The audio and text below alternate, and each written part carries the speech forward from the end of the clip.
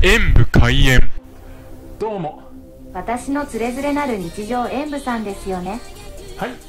そのいうわけで本日はこちら。ファミリーマートのたっぷり食べたい。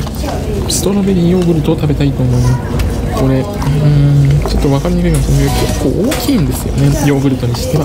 というわけなのでたっぷり食べたいシリーズとしては小さめかもしれませんがヨーグルトとしては十分大きいです。で中身はこんな感じになってます。おートロトロ系ですね。これは美味しそうな。では。チャンネル登録をどうかよろしくお願いします。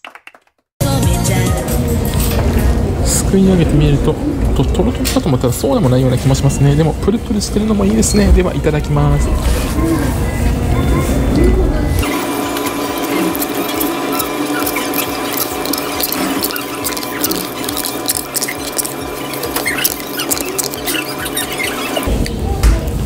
やっぱりカップが大きいだけあってヨーグルトもたっぷり入っていましたね。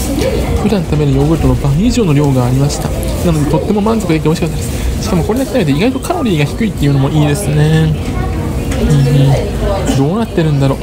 ちょっと知ってみたいです。いちごの甘酸っぱさもあって満足できましたのでこちらの点数とさせていただきます。ご視聴ありがとうございました。コメントしていただけると嬉しいです。演武閉園パソコンおよびスマートフォンのアプリの方はクリックをお願いします。